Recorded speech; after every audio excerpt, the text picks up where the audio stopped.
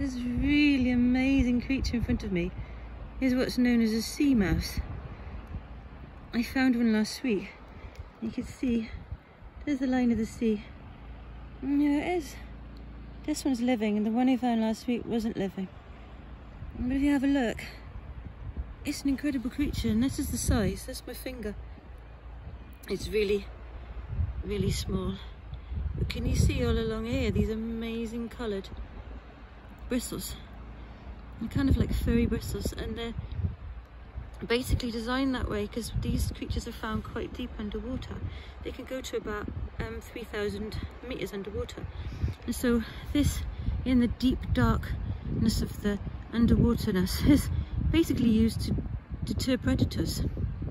You can see all the sand along the top there.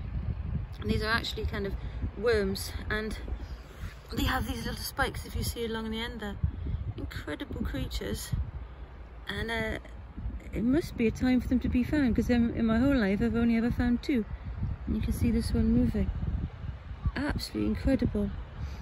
This is what's known as photon engineering, which in our scientific world we're trying to develop. Um, it's it's incredible because this this reflects here. It's a beautiful way, a natural way. It's like a kaleidoscope of light.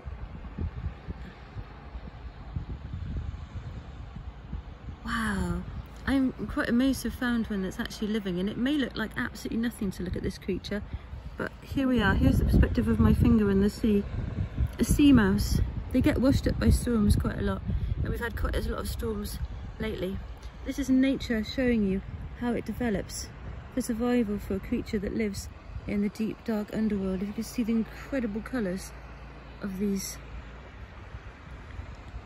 sort of spiny fur around the outside. Absolutely amazing to found one that's living. Incredible.